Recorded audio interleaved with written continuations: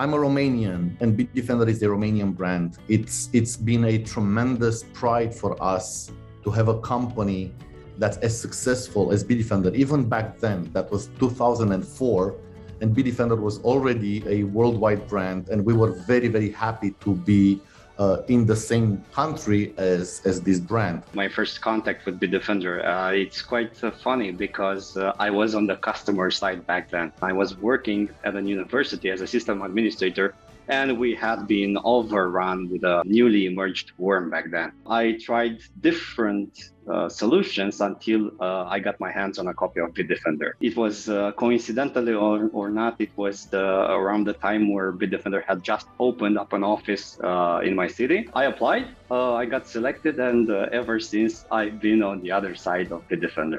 There was this IT fair that was held every year in Bucharest, Romania going through the lanes, uh, watching for the newest laptop or for the newest uh, software product, I stumbled on the uh, Bitdefender booth. It kind of caught me by surprise, and I started to look into Bitdefender more to understand uh, what they're doing, what's it all about. I actually started being interested in uh, cybersecurity. This was not a field that I, uh, I sort of liked or looked into before. The threat landscape roughly almost 20 years ago was obviously fundamentally different than it is now.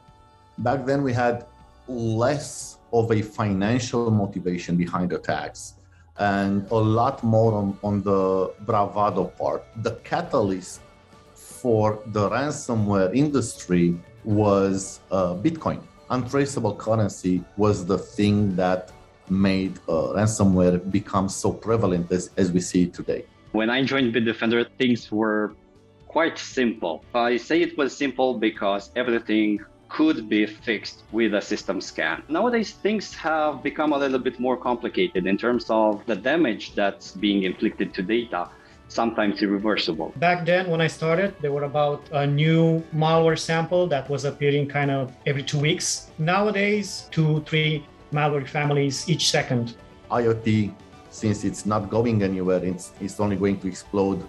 This is going to exponentially grow as far as threats go, especially when it comes to targeted attacks and advanced persistent threats. Now you're going to have an APT in your light bulb, you can have an APT in your printer, in the infrastructure and there's no antivirus installed on the printer. Ransomware will remain one hot topic uh, in the next few years because it monetizes so well. Emerging players uh, are uh, making enough money now to uh, better weaponize these threats. Um, I, I wouldn't be surprised if uh, next generations of ransomware would carry zero-day exploits uh, bought with the money uh, cyber criminals harvest from victims, for instance. My bet is that the future of the cyber hacking, of cybersecurity, is going to involve attacking cloud infrastructures. If you are a company and you're renting uh, infrastructure in a cloud provider, that doesn't mean you have the know-how to uh, configure it correctly.